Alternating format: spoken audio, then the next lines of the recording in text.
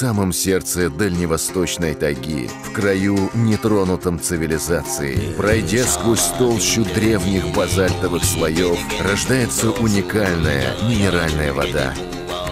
Мухенская. Вода из таежных месторождений. Мухенская. Чистый вкус природы.